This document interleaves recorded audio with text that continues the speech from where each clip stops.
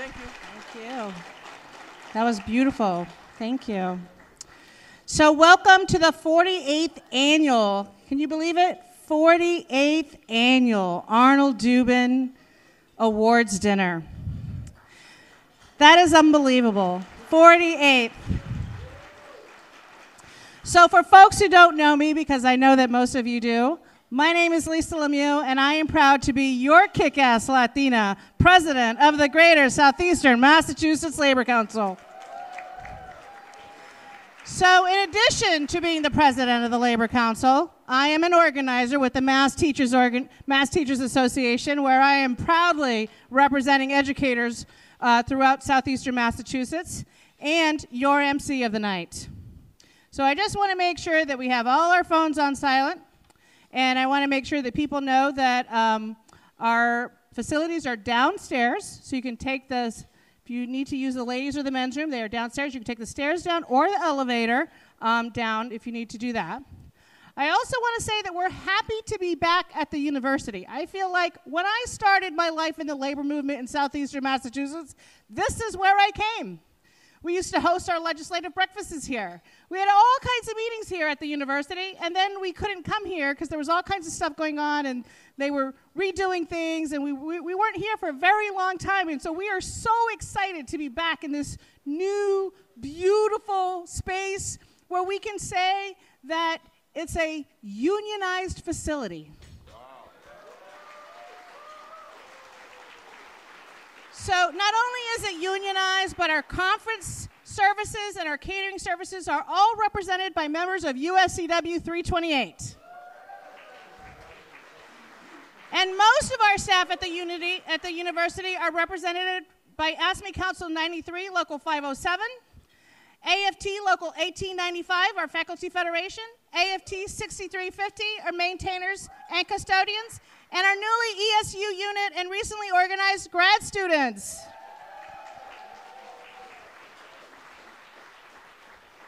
So I must say, it's very excited to be back in this space, but it's a little bit weird that we're here without Kim Wilson. So, Kim Wilson is the director of the Labor Ed Center and recently had surgery. So, she was unable to be here today, but she has been in our thoughts and in our prayers throughout her entire journey. And she did take the time to write us a letter that I'm going to read to you. It says, Good evening, everyone. I'm sorry that I can't be with you in person tonight. As many of you may know, I'm recovering well from some serious surgery. I look forward to being back on the job in mid December, ever thankful for FMLA and the labor movement's effort to get it passed. Special thanks to Acting Director Camilo Viveiros for his hard work to put everything together tonight with significant help with significant help from Ida Almeida, Jim Snow, and President Lisa Lemieux. And I will say that none of us could have done it without the support of all the people who helped us do it as well. We had a lot of help. So thank you to all the support that we had. She's also most grateful to the university, our stalwart steering committee, and our advisory board for making everything we do possible.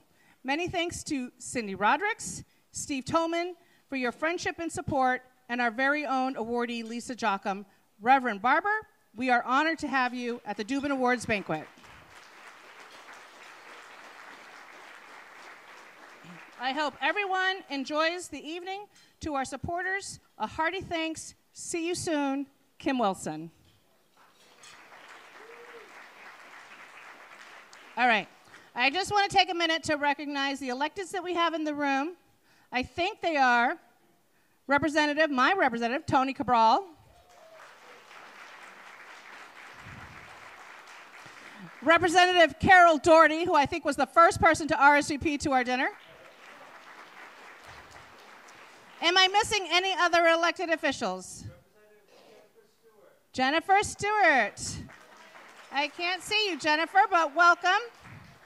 So I just want you to know, because I wouldn't be Lisa Lemieux if I didn't tell you this story, but we invited all our elected officials from southeastern Massachusetts, and these are the three that you have here today. So you make your own decision. I know I made mine. All right.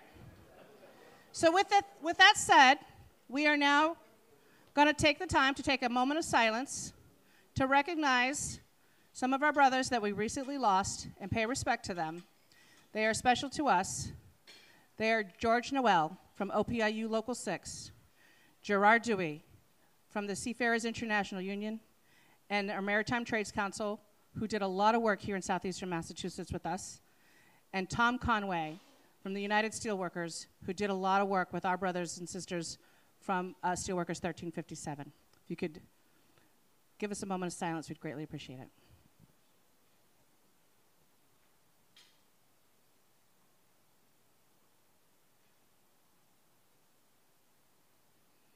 Thank you. And now we're going to bring up our Chancellor, Mark Fuller, to do his welcome and introductions.